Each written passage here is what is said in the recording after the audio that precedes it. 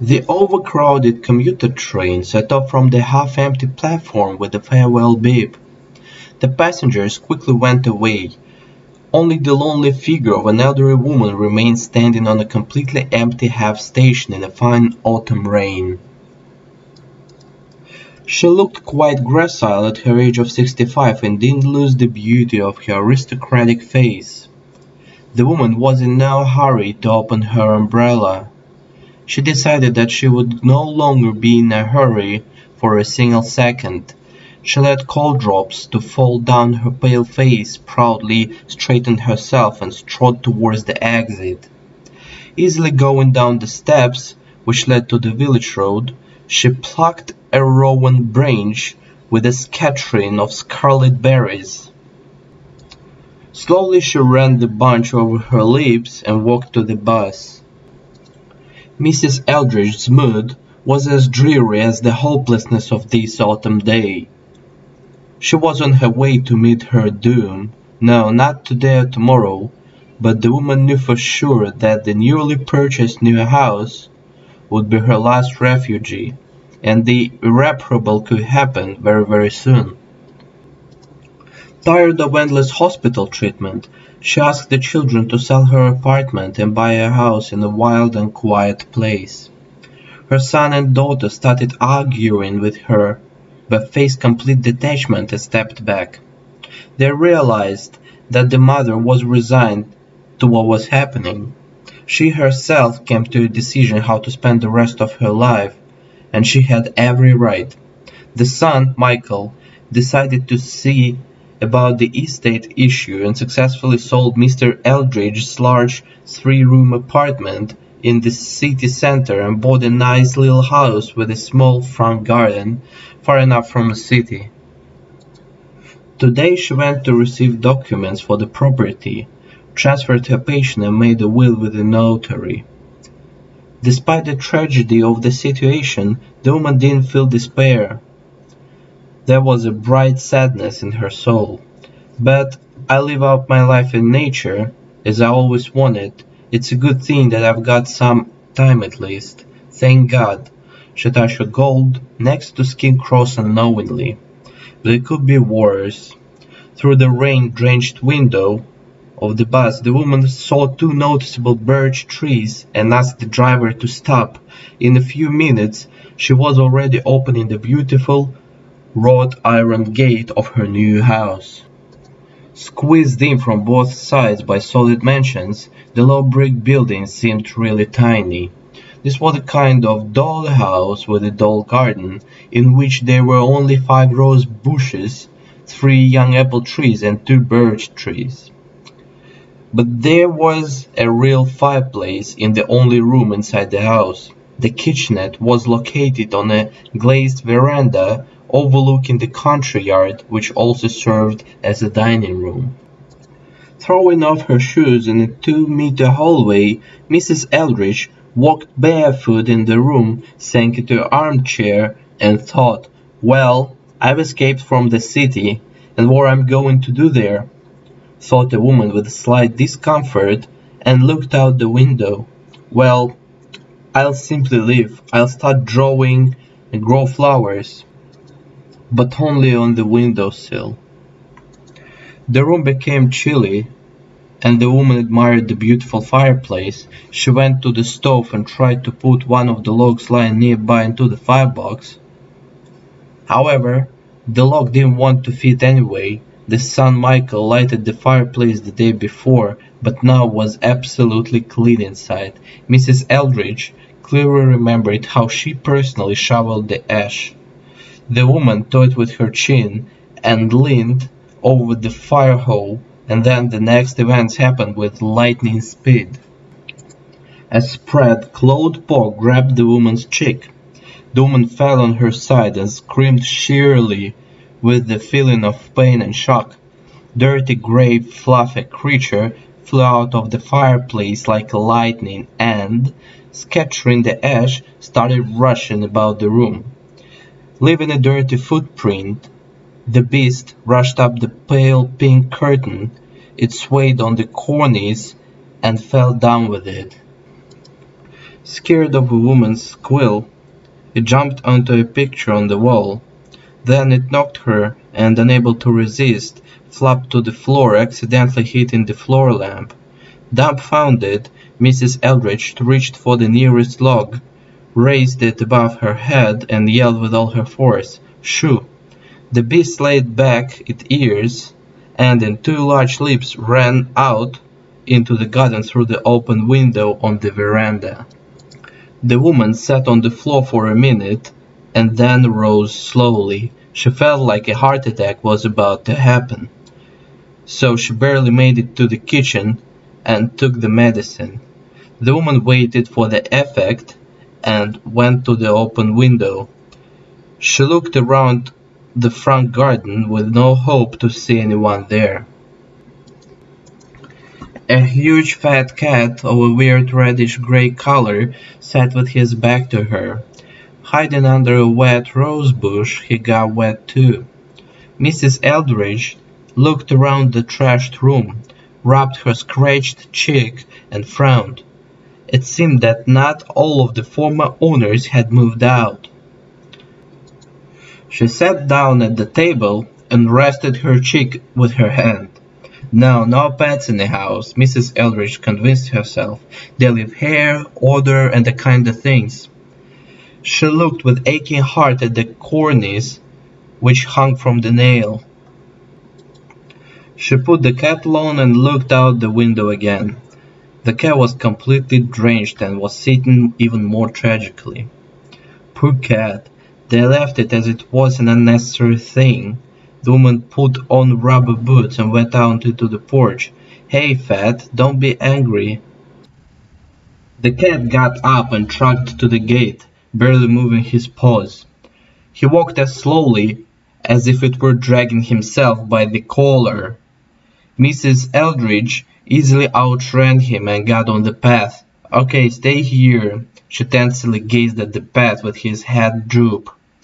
But keep in mind, I'm the mistress and I don't let you to tear up. The beast gazed at her with the bad fire in its huge orange eyes, turned and trotted merely towards the open door. Oh, you scoundrel!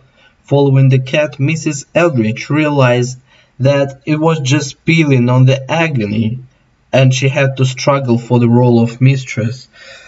At noon, the woman was awakened by the sound of broken glass and the clang of iron that had crashed from a height. Jumping out the kitchen, she was astonished. She saw some white fragments of her favorite cup on the floor, and a kettle rolling from the side to side next to it. The water, like a cold puddle, crept up to her bare feet. You hoot! The woman grabbed the towel and swung at the pet. The cat threw the mouse which it caught at her feet and flew out the window in its usual jump. Mrs. Eldridge opened the refrigerator and looked at the empty shelves. Okay, I'm sold. I really need some food. Now it's time to go shopping. On her way to the gate, she looked cross-eyed and saw the impudent creature sitting under a rose bush. I'll sort you, the woman started complaining but stopped short when she saw its malicious grin. Half an hour later, she diligently stuffed a week's supply of food into packages. She thought for a while and asked for another bottle of milk. As she was approaching to the door, the woman heard a polite voice behind her back. Hello, neighbor. My name's Robert. My land is adjacent to yours. Let me ask you, how long do you plan to stay here? I don't know. Mrs. Eldridge for some reason didn't like the man at once. Would you mind to sell me your tear down? I'll set a good price.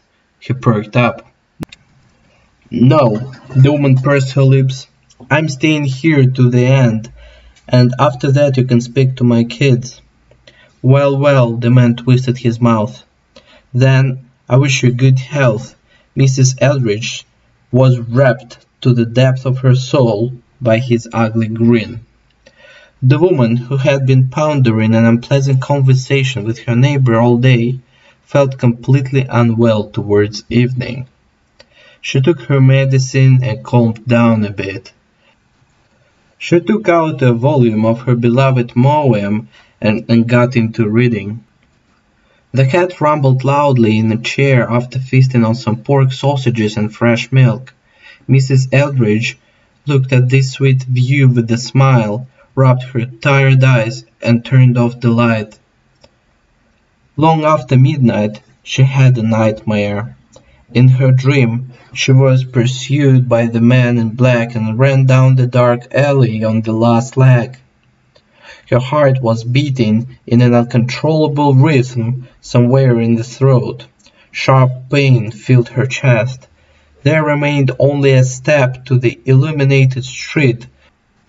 She saw a shrill light of the lanterns when the stranger grabbed her, piled on her, and began to choke her. The horror gripped her throat like a cold ring.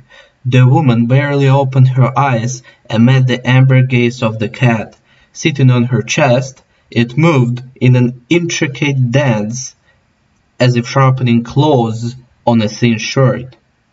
Fat, go away, you're heavy, Mrs. Eldridge said in a choked whisper, but suddenly she felt that the pain was subsiding. The heart began to beat more evenly, the suffocation receded. Feeling extraordinary lightness, she closed her eyes and fell into a sweet, light sleep. When the granny woke up that noon, she felt almost healthy. She tried to feed Fat for several times, but the cat slept and showed no signs of life. Only in the evening, when she was sitting on the porch during the last warm autumn evening, the pet came out and buried its fluffy head in her lap. Are you my garden angel? The woman looked seriously into the eyes of the cat. It rubbed itself against the mistress and led her to the refrigerator. After three months of so-called cattish therapy, Mrs. Eldridge stopped taking the medicine because the heart attacks didn't recur. She explained this to herself by the miracle of the Lord. She sincerely did not understand how an ordinary cat could cope with an ailment which the best doctors of the country were unable to cure. The day before her son came to visit, Mrs. Eldridge asked him to find the former owners of the house farewell. They could have just lost the cat when they moved, because it loved to leave the mistress for a while. Early December twilight fell on the village. The woman kissed Michael on the cheek, quickly blessed him, and hurried into the house away from the chilly street. Or a sad sack. I had to light the fireplace much earlier, but chatted with the son and completely forgot. She put a pile of wood blocks in the firebox and struck a long match. After reading a little before bed, the woman fell asleep easily. She dreamt that she was slowly falling into a deep well while squinting at the golden light pouring from a height. Suddenly the light was blocked by a huge cat's head. A terrible grinning muzzle appeared in front of her eyes, and sharp claws began to tear the chest in a cambric shirt. Awakened by a loud cat scream, Mrs. Eldridge barely opened her eyes and coughed. The room was filled with acrid yellow smoke. Instinctively, covering her nose and mouth with the blanket, she wandered towards the door, urged on by the cat clawing at her legs. The woman opened the door and leaned over the barrier, trying to catch her breath. The cat let out a gurgling wheeze and bit her in her cough. The granny quickly reached the gate as if she had been whipped up, opened it, and went limp, but the sonorous voice of the young man made the woman come to her senses. Ma'am, are you okay? Ben, call an ambulance, be quick. Young neighbors who were late in the city bent over her sympathetically. Three days later, Mrs. Eldridge was taken from intensive care to the ward where her children were waiting to take care of her.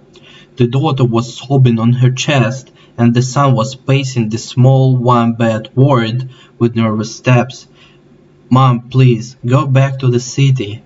You may live with me or Michael if you want. Emily's lips trembled desperately, or a mad desire to live in a God's forgotten place. I like my house. This was an accident that could happen to anyone. Michael suddenly stared at his mother. I installed central heating. Promise you won't light the stove again. I promise. Have anyone fed the cat? The woman looked inquiringly at her children with aloof expressions on their faces. Michael got up and hit the wall with his fist. I buried him under a rosebush. Please don't cry. The son touched her mother's hand slightly. Mrs. Eldridge stared blankly out the window. The feeling of the overwhelming loss settled in her soul like a heavy burden. Probably we are to tell about this to its owners. Have you found them? She stared at her son with her watery light eyes. He nodded. Believe it or not, they never had animals. Their little daughter has an allergy. Mrs. Eldridge turned to the wall and began to cry softly. Why on the earth? Why is life so unfair? Mom, don't cry, we'll find you a new cat. The son knelt down in front of her. The neighbor's cat has kittened, and they said, you're fat, like to hang about with it.